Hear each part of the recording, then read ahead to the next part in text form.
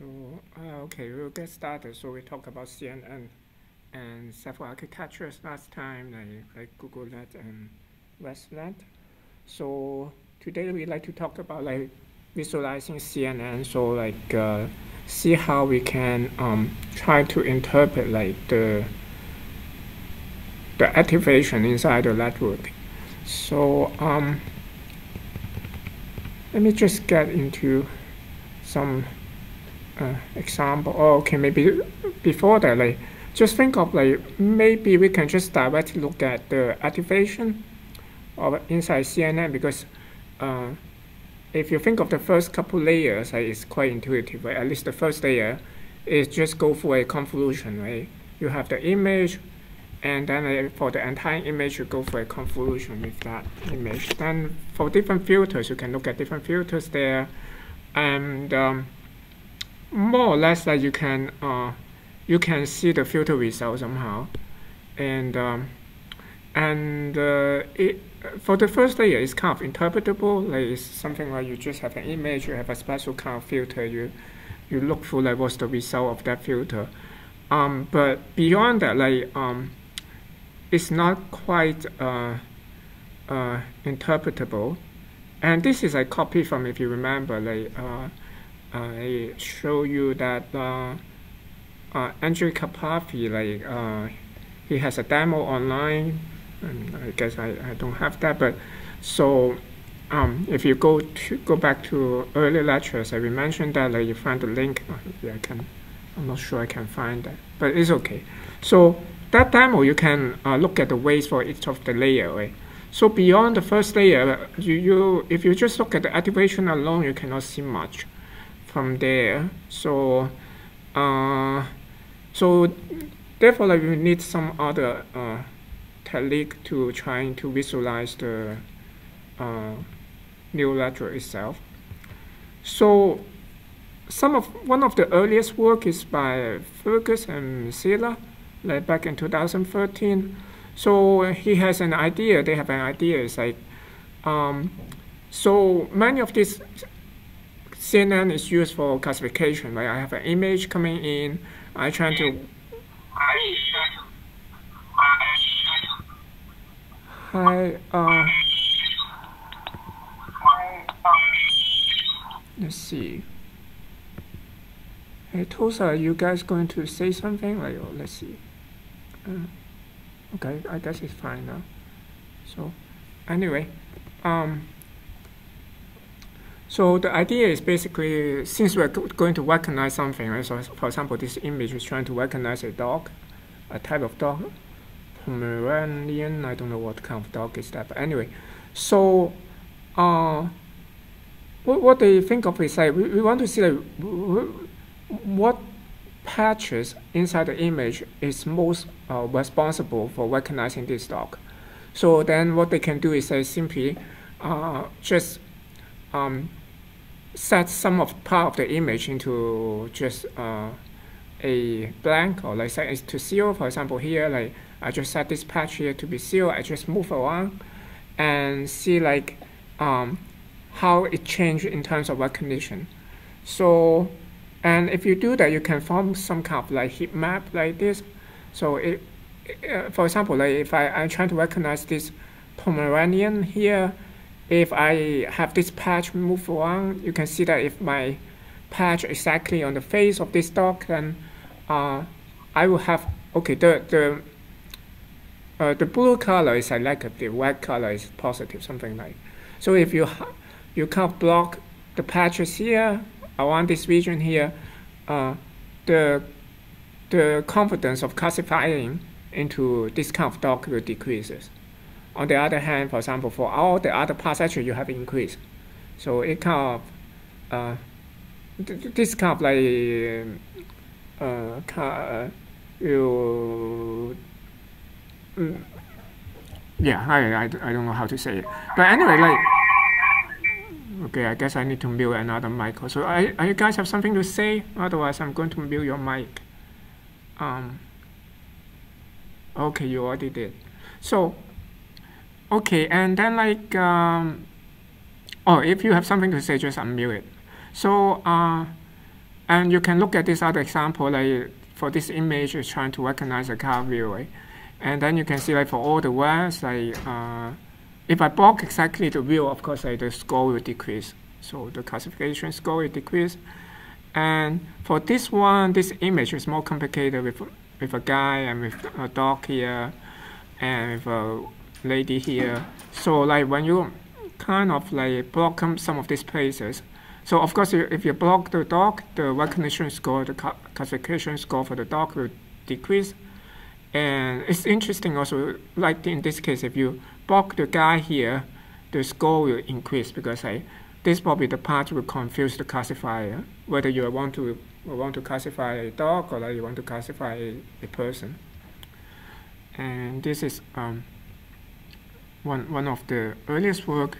So, and, and a similar idea uh, to do visualization can be just think of like we input like many many images into the network, and we'll just group the images in terms of the uh, classification results.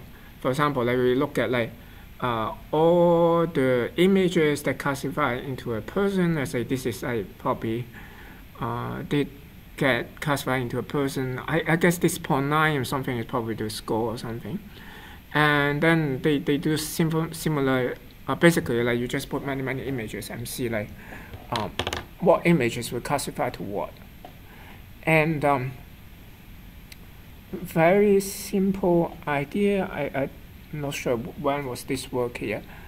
And then afterward, like uh, something immediate, I guess people will think of it like we have this um, kind of categorize like each of these images, like these input images into different classification result. And it, it would be interesting if we can kind of like cluster all these images into uh, uh, a big image like this. Basically, this is a, it's hard to see this is composed of lots of tiny images, basically like image that have a close in terms of the classification type are put together, kind of. Um, and uh, this is uh, generated by this so-called like uh, uh, customization. So of course you can think of like, okay, maybe I can do PCA as well. So um,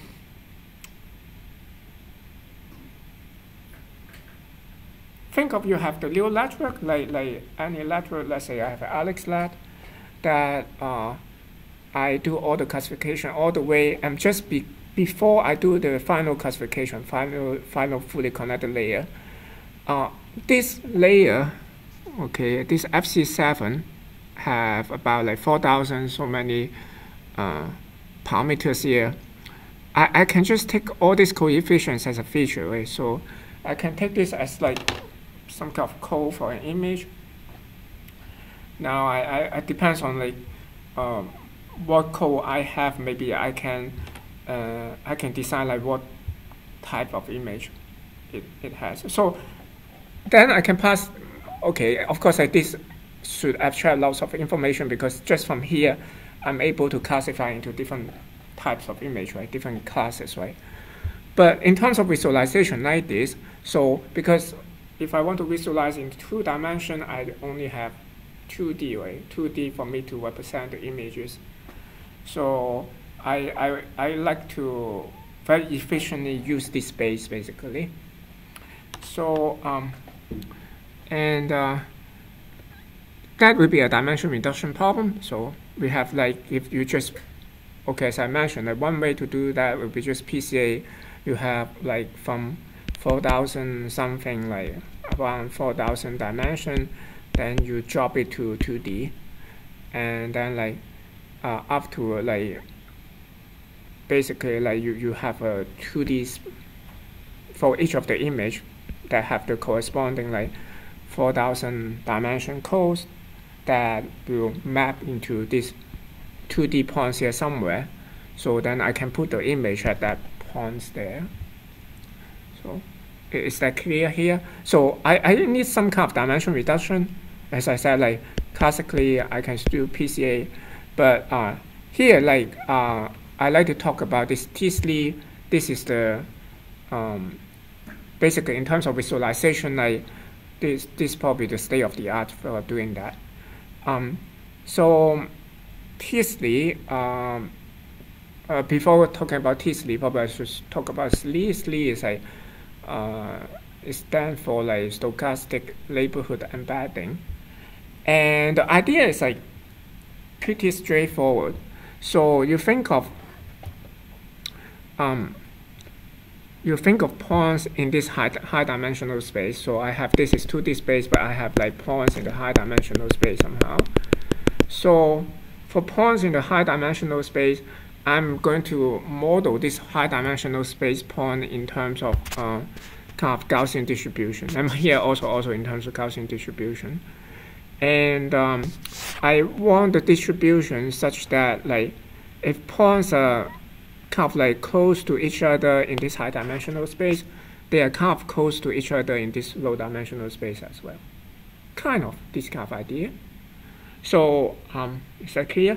So then like in more detail, like what I can do is like I will just for all the points there, like in this high dimensional space, uh, I will kind of like uh, represent using a uh, kind of conditional actually I put here is a conditional probability but but later on actually I, I will make it a symmetric like um, joint probability as just uh, if I have like uh, kind of like image i and image j then the joint probability will just the average of the conditional probability pi given j and pj given i and uh, and for each of the conditional probability, as I said, like I will make it like a Gaussian-like. So I will say I will have this is basically the 4,000 length code here, and uh, the the the probability will be kind of proportional to the kind of the distance between this um, x and y in the high dimensional space, but later on subject to a Gaussian kernel. This is a Gaussian kernel. So um, here is just a normalization factor, nothing special about that. So also like for Q will be like in the 2D space, I will do the same thing. So, but in the high dimensional space, I have a one variance for a different, different basically data point there, kind of like, but um, but in the 2D space, I, I assume all the variance the same, so I, I don't have sigma here anymore. So then I want these two distribution to look similar to each other. If you remember, we talked about KL divergence, right? So we just use KL divergence to um, as a distant measure of these two distribution. So then we want to force the KL divergence between like P and Q to be small. So I I have for each of the pair, I'll just sum over all the, because, uh, let's see.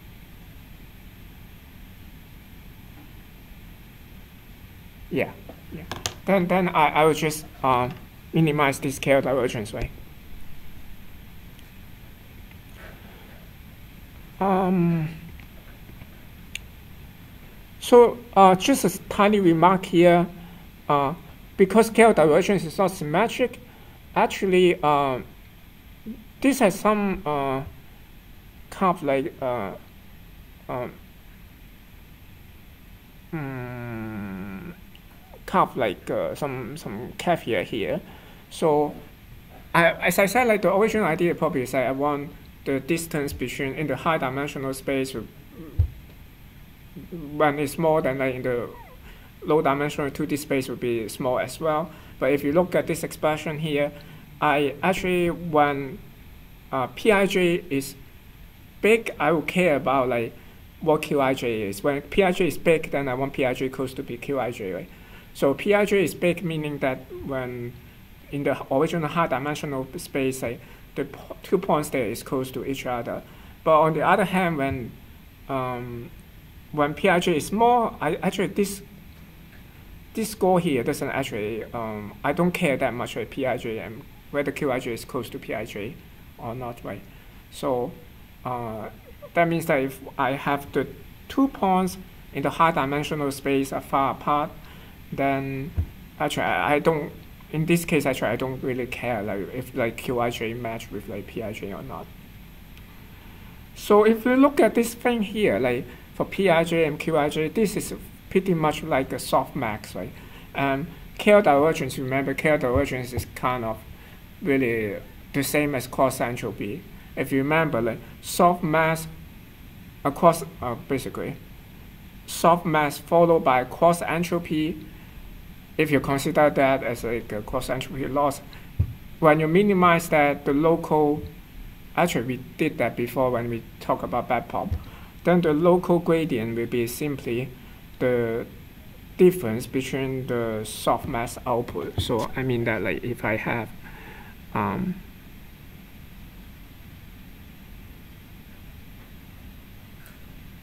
um, yeah, so this is uh, just the softmax output, like what I want to say. So I, I can think of like, uh, yeah, this, this is input to a softmax, right? So essentially this thing is just a softmax, right? So I input this thing into a softmax, this is a softmax here. And then afterward, I, I'm trying to force these two guys to be the same to be the same using the KL divergence, right? The KL divergence essentially is like the same as cross entropy loss. And if you remember, like uh, if I take the gradient of this loss uh, with respect to to the to the input here to the softmax.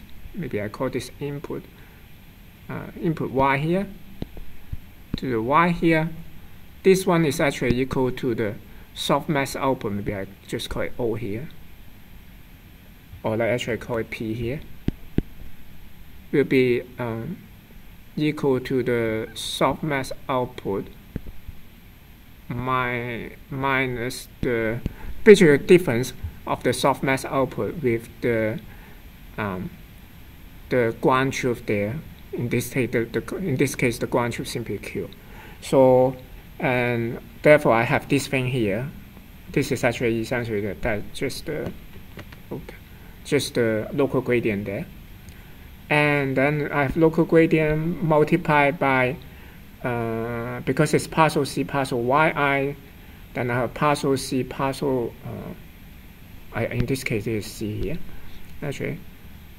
I have partial c partial y will be equal to gradient yc and then partial uh, uh, partial see.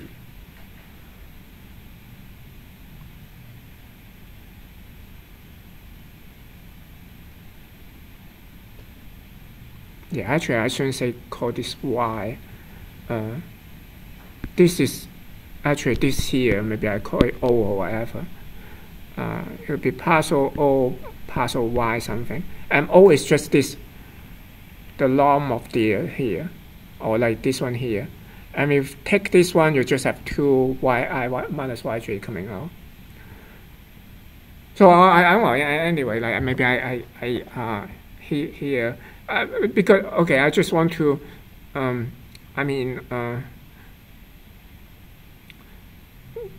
go through it quickly without taking uh, trying to compute the derivative. But uh, one one man like we did this derivative before. If you you know this is just a softmax and uh, we are just dealing with this cross entropy loss or like KL divergence. Then actually we, we immediately we will have this gradient is equal to this guy here, and and, and then it's uh, to in this case we're trying to um, tune this location of this y right, such that um, this cost to be as small as possible. So then we'll be just do a steepest descent again. So you can just go for steepest descent update for the y. Then basically you start with some points of y randomly put in some points there, and then you compute p and compute q, and then uh, you have compute this partial c partial y, and then you move this y so that you, but this is of course just Lee, but t-SNE is like basically the same idea, just um, have a problem is that like uh, it has a so-called crowding problem. So because if you look at the distribution for both of these guy here, uh, he, he is kind of a Gaussian-like distribution also. A Gaussian distribution have a have a uh, very uh, light tail. What we want to say is like uh, you you have if you get far away from the mean here, the probability very quickly go to zero. Right? So therefore, in the in the sense that like we are not very tolerating to uh, when when p is more uh, sorry when p is big that is basically in high dimension when these two points here are close to each other then we are forcing q to be like has to be must be very close to each other as well but of course if you go from like high dimensional space to a just 2d space you don't have lots of places for you to move around right? so basically like you if you have in a high dimensional space, you can have many points close to each other, like, kind of like in the neighborhood of each other. But when you go down to the 2D space, points are close to each other. Um, we, we want them to still cluster something like, but we don't want them like just like squeeze into like just one point or something like that. So what we can do is like for this distribution used to be Gaussian, we just like loosen it a little bit to have a heavy tail distribution instead. So we allow this Q now, uh, even though it gets farther away, then it's still kind of okay. So does it make sense? So then that's how we got the name t-SNE. Uh, t-SNE just because like, we are going to use the student T distribution instead of using the uh, the normal distribution, Gaussian distribution. So if we just we do the same thing and try to go through the math. Basically, the update will change to something like this. So it is similar. You can think of like this is some kind of force, like, uh, and when you have a some uh, again like if when you have like some points out there like yi that's initially have some points out there, so you compute like uh, for for each point here, I'll compute like for each other points like yj and yi, and this will contribute to some force like from j to i something like this. This will be the force, and then like, uh, yeah, and, and then we'll just move them around basically, and um, there's some small um, improvement of this t-SNE implementation. The first thing is like uh, since that you have like when you have many many points, like for example you have like a million images, that means that you have a million points, right? So then update will be quite uh, quite uh, expensive. So for each points here, we look for all like a million points and try to pull them around.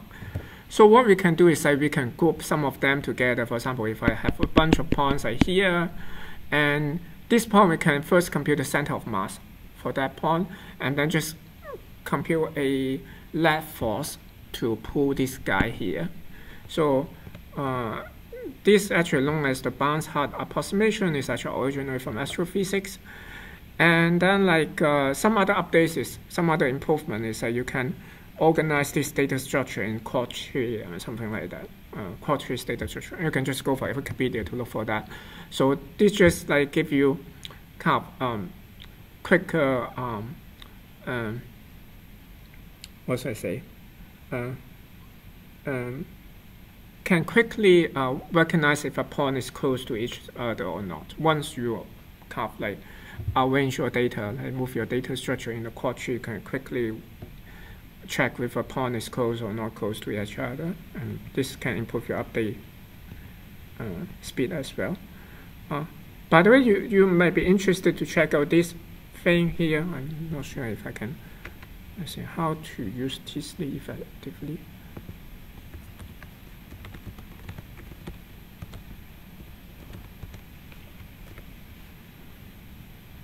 Uh, I'm not sure anyone like uh, kind of like came across this this kind of journal before like this called Distill journal. It's kind of quite new.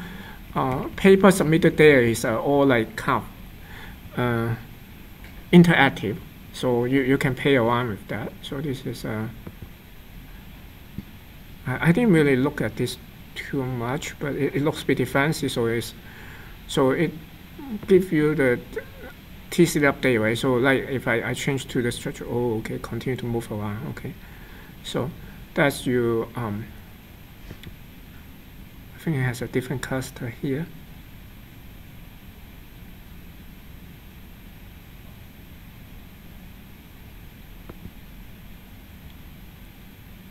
So you can, I, I guess I can change the number of pawns. Uh, oh, this, some of this I don't know what is that anymore. So perspective, I, I forgot what is that. So anyway, so but uh, yeah, if yeah, if you're interested, you can just go there and take a look. Um, that's for t-SNE.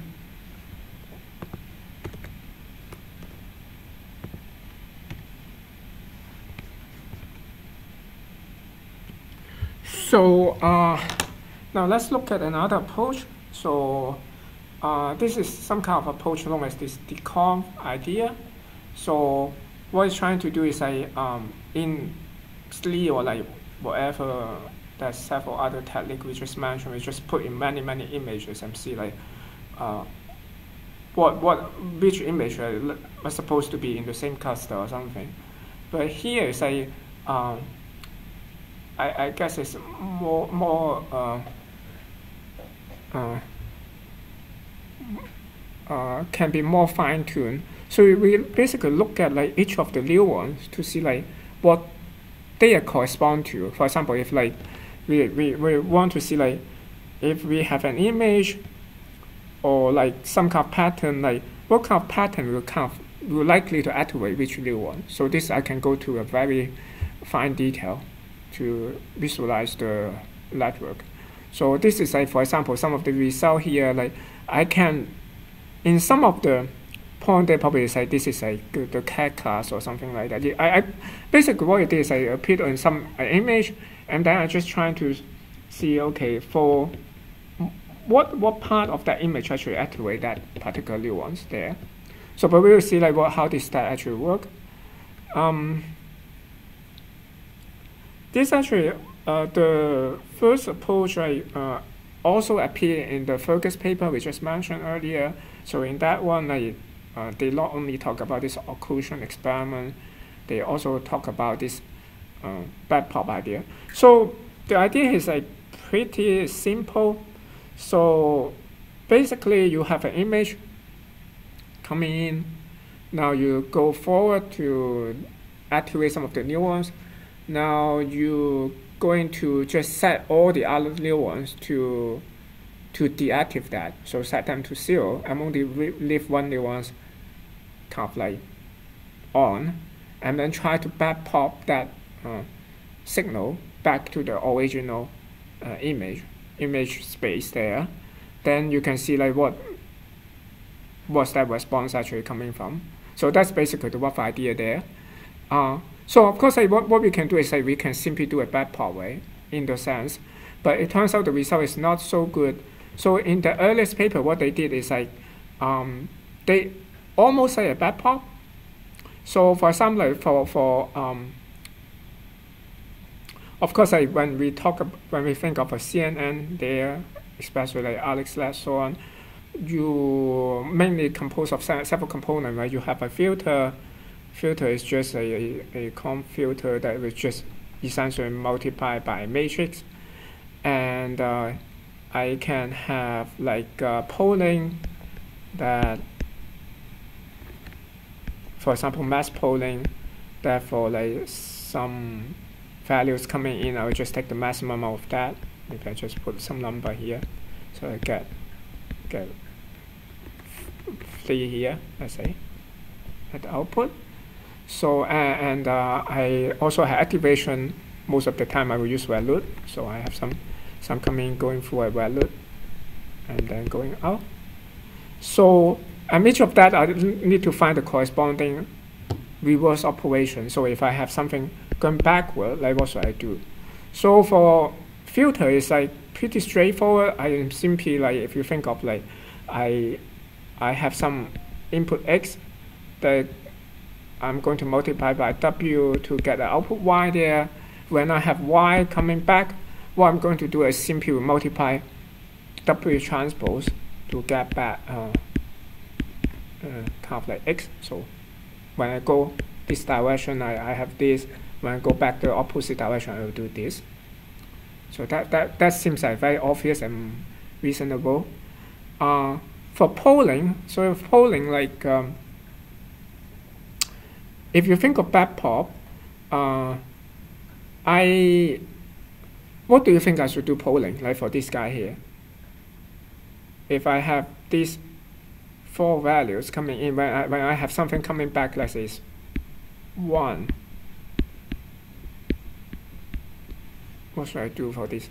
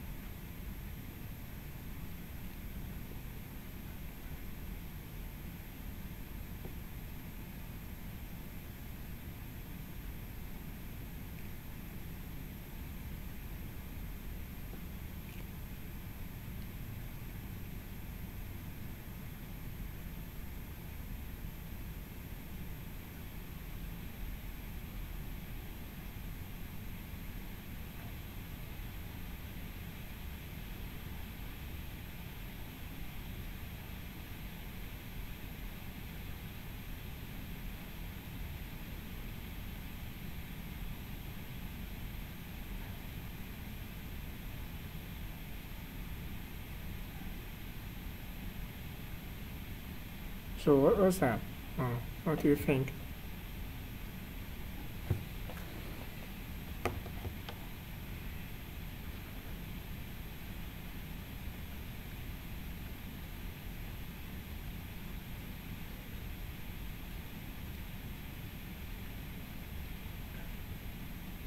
So should I do this? Like one, one, one, one.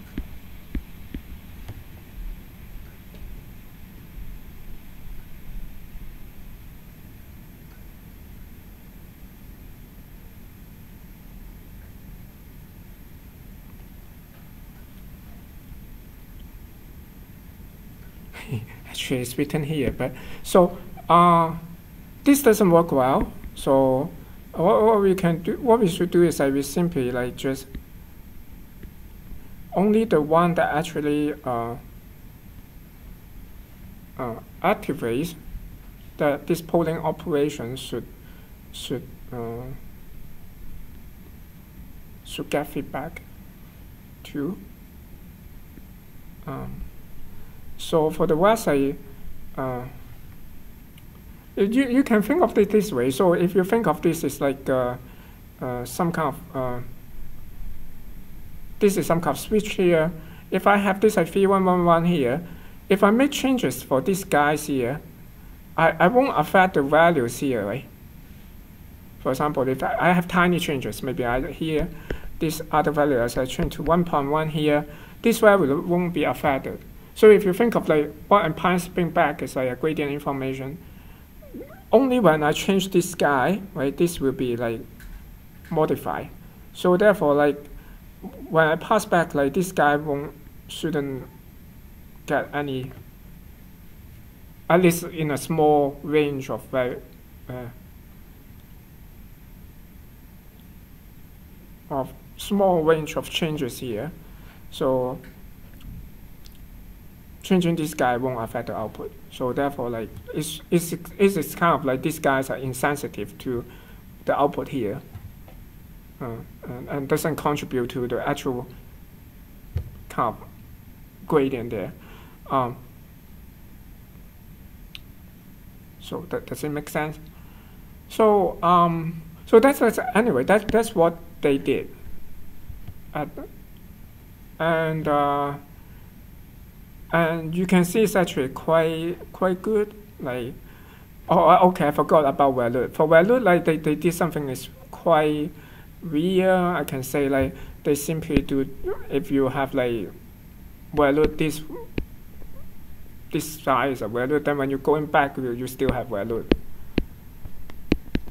So, uh, and uh, um, did uh, I, I will go go into that later. I guess immediately, but uh, I, I don't think like this this kind of like stuff have very good justification somehow. Um, but um, there's some other variation I, I will talk about like just immediately. So, but as I said, like this is the result they have. Like you can look at different layers. Like if I just trying to see if I going to activate particular neurons in a particular layer, I will got this kind of patterns here. And uh, similarly, I've go to a higher layer, uh, and this is quite interesting. When you higher layers, you can see like I can uh, particular ones. It's hard to see like that. Probably this one get something like a wheel and and uh, let's see if I have more oh and, this is a layer 4 something like so what, what what's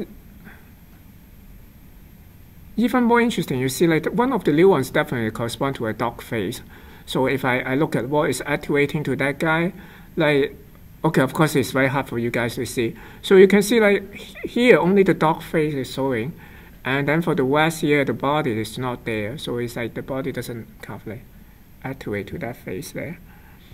Um, and as I mentioned, like, there's some following work for that, like some other variation. Um, the one I mentioned is this one, this deconv, like this 2013 paper there. And actually, if you think of that, like for ReLU, the right way to that to do that uh, if we really by propagating the gradient, okay, but well, by the way, if I really propagating the gradient, I'm assume that this is the, okay, I shouldn't, uh, maybe, maybe I should just, do I have, um,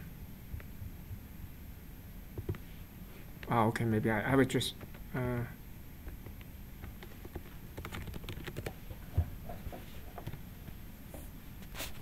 So let's say if I have a value here, so some value like 1 minus 1, 3, 2, 1, minus 1, minus 1, minus 1, 3, and of course if I, this is a, well, a ReLU layer, then uh, after the ReLU layer I have like 1, 2, 3, 3, 1 here, something like that, right? Now let's say if I pop back the gradient information, let's say, say I have something like 1 minus 1 minus, minus 1 minus 2, maybe minus 1, 1, 2, 1, 2, let's say. So what, what, what should I pass back here?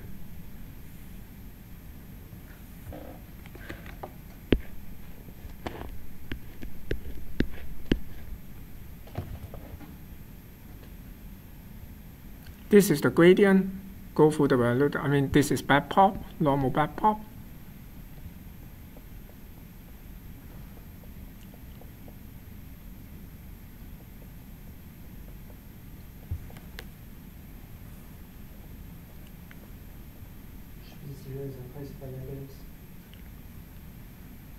Uh, Yes, but uh, that's okay. This has negatives here, and also that's here negatives here. You're referring negatives on here, negatives on he in here.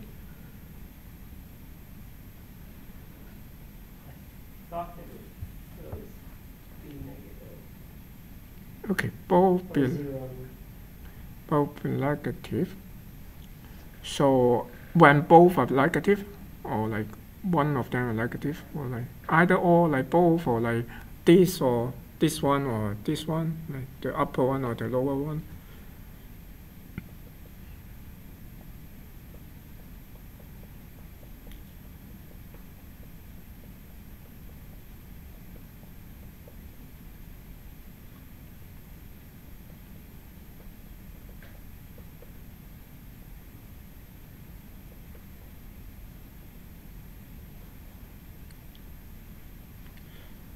So if I, I'm doing a normal backprop, just think of backprop, what, what, what's that? Like, um, I, uh,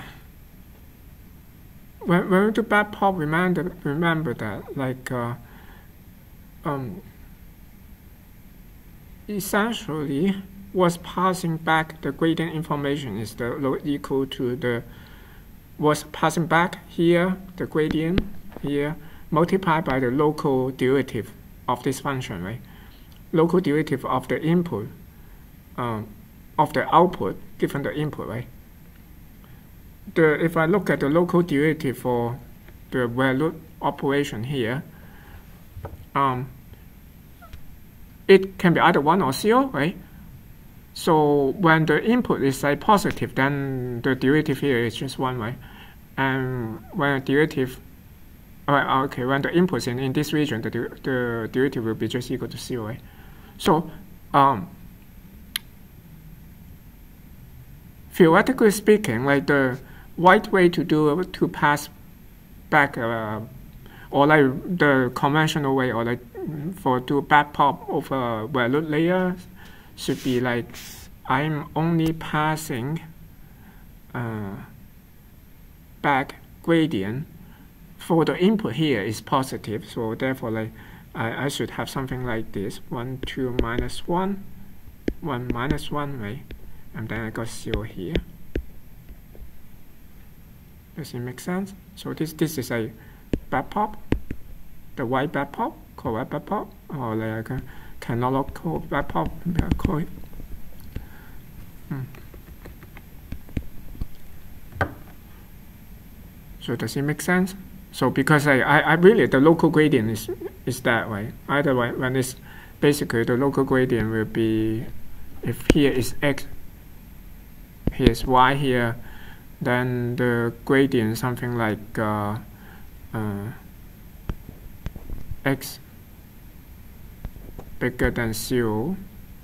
Maybe I have an indicator function, something like that way.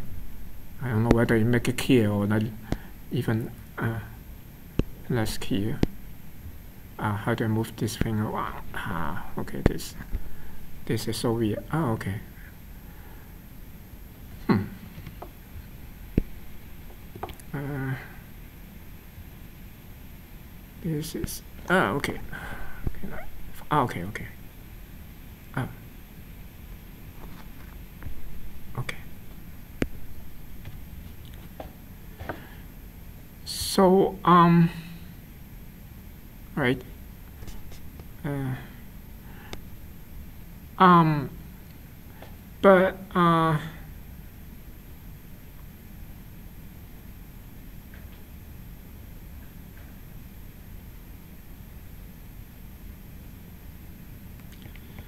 but what Ferguson did, like, uh, or like Ferguson did, like in 2013, is like basically um, they're doing back is also use a while loop, right? If they also use a while loop, then what you're passing back is something like uh, 1, 2, minus 1, minus 1, 1, 2, minus 1, minus 2.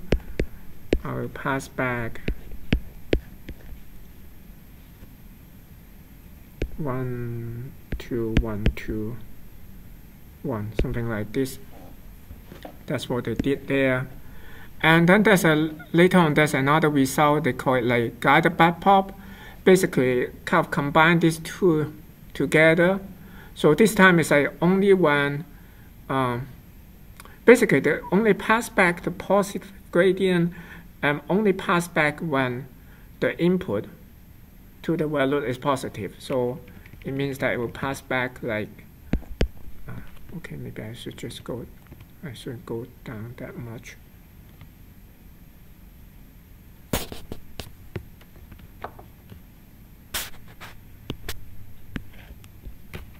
to do that. So, hmm. I want to keep that.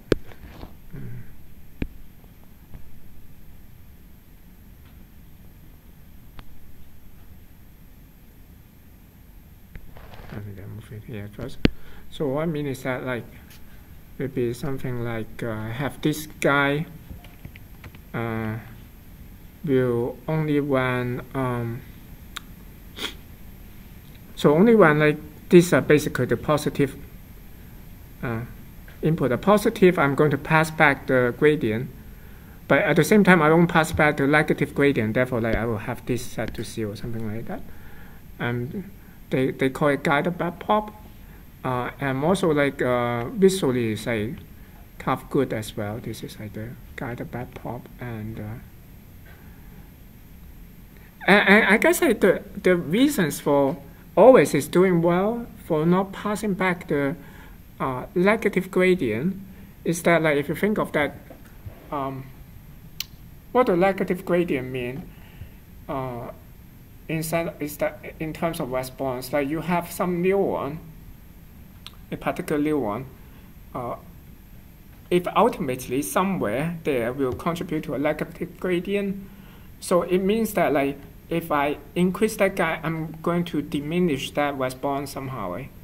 I will have a positive gradient that I, I if I I increase that, I'm going to increase the response. So if you mix these two together, then uh, you are going to have a messy image, right? So what, what we want is that we only want um, the part, the, the, the region or the pixels there, they're going to make that little one, say, getting more positive somehow.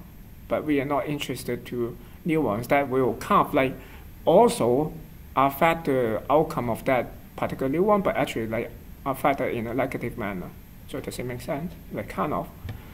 So uh, but anyway, like that that's how they did that um, in in either case, uh, you, you, you can basically uh, using this you can poke into like different then you can basically poke into different neurons. You can see like where they activate where they not activate and so on. So there's some application for this thing. For example like we can use this to find a salient map. Like for example you have an object. Say I, I I'm going to let's say here. Um, I, I want to find this block here, and then I can just find the pixels that will kind of uh, activate the, the the neurons that classify this block here. So then like um then I can like just get a heat map something like that, or I can get a map and then like this salient map can help me to kind of roughly uh, find the location of that bug there, and then afterward I can do a further refinement using class segmentation method. So this is an example like called GrabCut just to uh, do a good segmentation using this idea. Uh, and uh, and uh, okay, this is basically oh okay, I can skip that. This is just a demo if you want to get into that. So it's like. Uh, um, I'm actually I think I think this is um, they, they have an entire package for you to do this kind of, this kind of visualization on CNN. So now let's look at another uh, another idea. Like so, previously we were looking at like trying to pop into like individual neurons. Now this is looking at another type of visualization. Say if we have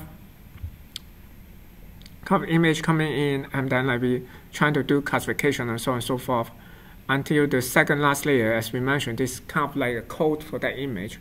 And we want to see like whether we can use this code to recover the, the original image. So how, how we can do that is like we will just use some optimization approach. So we'll think of like, okay, let's think of like any an image. So I have x some arbitrary image. So I would just want to see if I can find x such that it will map into that particular layer such that this layer find x there is close to my desired original find zero there. And then I, uh, if I don't put in any regularization, most likely I'll get some kind of garbage noise because you know like most of these high dimension or like 2D object here, say, it won't end up into images. Most of them will be just purely noise, so we need to add in some regularization. And then, um, if we do that, like this is uh, a result that is done in 2014. So you have the original image like that, and then you create that code there, right? And then you try to optimize. And here I have multiple images because like the optimization here like is is non-linear as well. So you, you have you don't have a convex optimization and uh, so therefore like you, you don't have a unique solution. It's like stochastic. Every time you start, you get ended up uh, a slightly different image. Um, and uh, there's more result here. And uh, and of course, I here like I take the last second last layer as the features. I can move up, right? I can take any particular layer and of consider that as a feature, right? So if I move up, like do you see what I mean? Like, for example, like here, I take this as my feature, but I can also take this entire block as my feature, right? And I try to force the image to match this entire block here. So as I move up, so let's say I move up to here, um, do you think this image I generate will be more similar to the original image than if I take the, kind of force my image to get close to this guy here.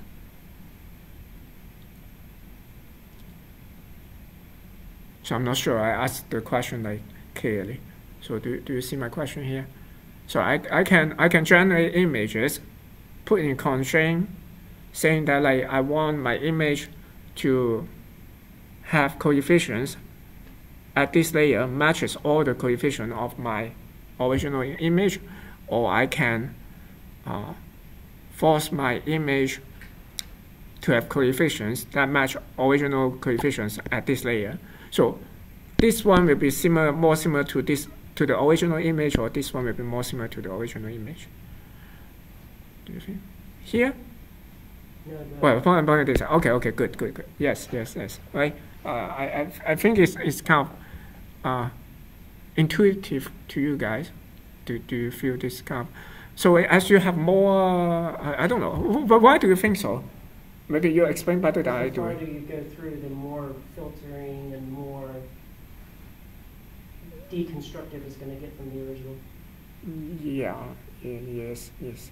So the harder it is going to be reconstruct it. Yes, yes, yes, yes, yes, yes, yes, yes. Yeah. So um, um, you can observe that like this one, like if I kind of like this is like showing like I keep like different layers here. I think like I don't know this is like uh, if you you just get forced into next layer, then you get pretty close to the original. But if you get farther and farther away, then um, it's farther from the original. Um, um, earlier we, we say okay we have that code and we force uh, and we compute the code of a particular image and want the image one to find another image to have same code of this image.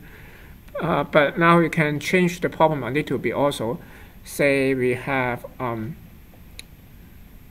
any arbitrary image, or like say we, we just want to find any other arbitrary image, but we want to force that image to fall into a particular class. So in the sense that uh, we want to, let's say, this is a ImageNet with thousand classes. So I just want to say generate image to have a particular class. So in the sense that the code then will be like Osio, but then there's a one here somewhere, something like. Um, and uh, so of course we can do the same thing. So essentially we, we just like have a score that just uh, trying to maximize for, for input image, we're trying to maximize the score of that image. Uh, and also like we can add some regularization, just want to make sure that uh, input say looks like an image. Uh, then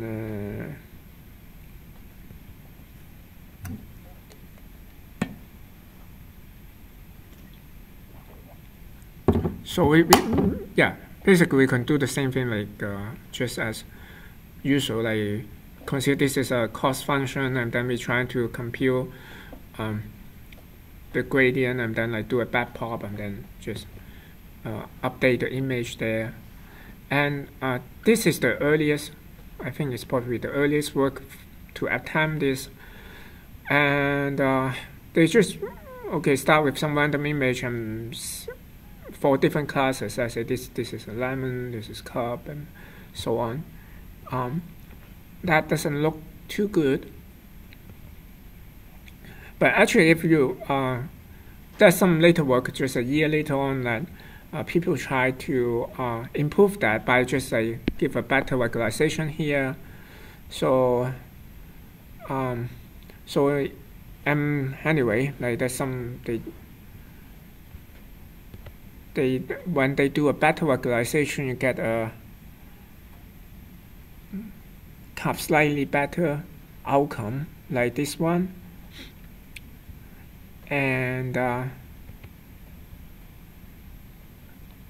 and later on like I guess this is a a year later on another work try to further improve on this one is uh, the idea is like um, if you think of uh, I falls into a particular class uh, many objects that uh, kind of look different I mean, but these are semantically is the same. So for example, if I here, I, I'm trying to classify something into a grocery store, and all this scene here, all these pictures here, can be referred as grocery, store, uh, grocery stores, but they are pretty different, right, to look at. Um, and, and, so what they what they did there is they trying to identify particular cars there, and just basically use t-SNE as we mentioned at the beginning and trying to uh, cluster, cluster um, different pictures. Okay, they, they have a bunch of input pictures basically and then for this bunch of input pictures they um, can form um, use t-SNE map into a 2D space or lower dimensional space to form like cluster of images. So those like even though they're same class, they can be clustered into different uh, different clusters, right? And then I, they will basically when you do this optimization, you start um, originally you start with a random image here, but what they did is that instead of starting a random image, they will start with the centroid of a particular cluster for that class and then they will generate image like, like more piecing like this one here.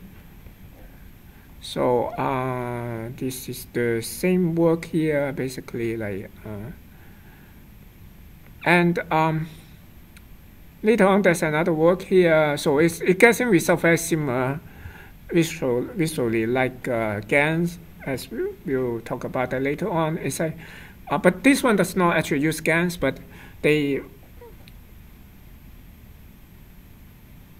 pre-train. I, I don't know where, where they get that this generator lateral. I don't think they train it, but they they uh, from some some other work they got uh, generator laterals that will generate uh, kind of um, image lat like images.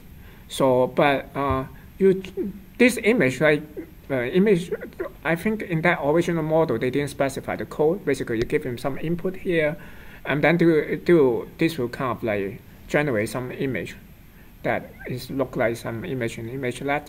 So what they did is say, okay, I will cascade this uh, generative lateral here, and with like uh, kind of like uh, what's that? Oh, with a classifier here. So with the classifier, basically it will classify like this image coming in, right? So then what they did is say, uh, they will just uh, try to train uh, the image end to end. So in the sense that you will give the input image here, then uh, you will sec.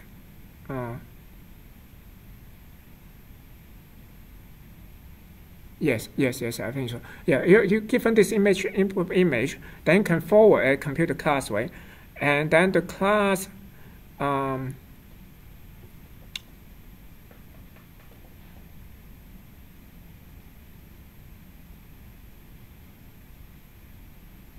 Ah, how do they train that? Like, like let me let me think.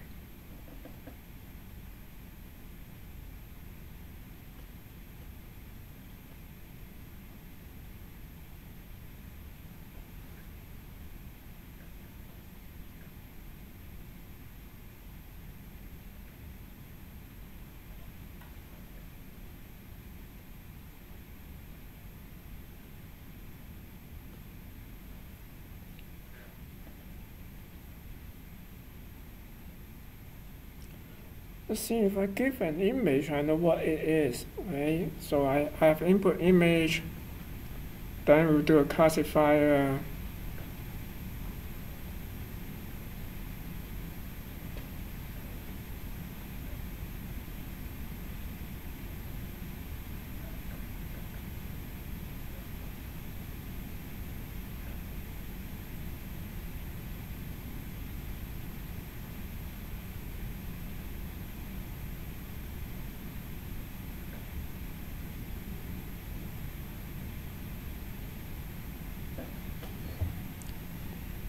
Oh, what do you guys think? Actually, by this time, I think you guys can think also. Right? Can can. You, you know everything here. So now, like, let's see. Uh, mm, you should you should have in, enough. Uh,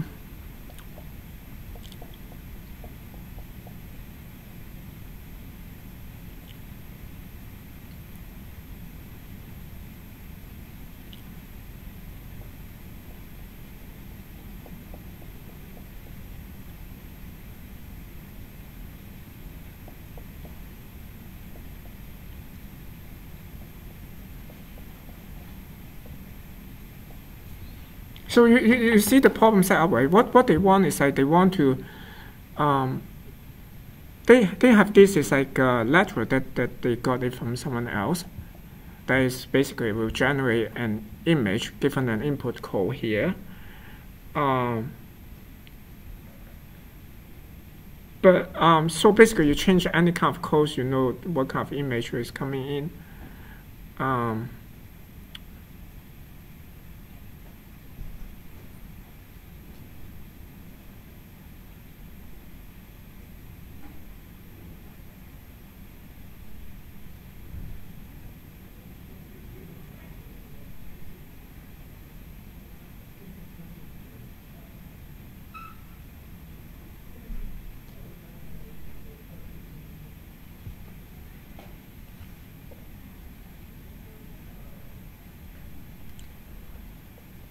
So the goal will, yeah, the goal is clear here. And then, um,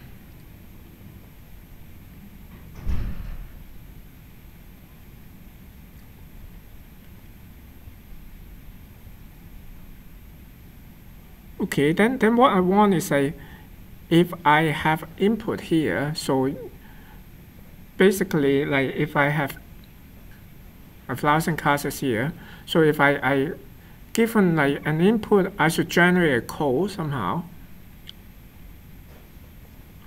Actually, this figure is not very clear here. It didn't. Uh, so I should have like another letter trying to generate this code. So uh, from for input here, I should have a letter trying to generate this code here.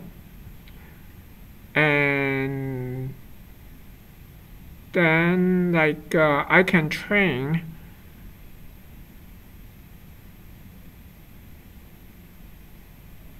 I can train the network there, right? So okay, anyway, I, I think like I only have five minutes left. Maybe we'll just uh, you, you guys have I, I think I will take a look here at the paper again and then uh, come back to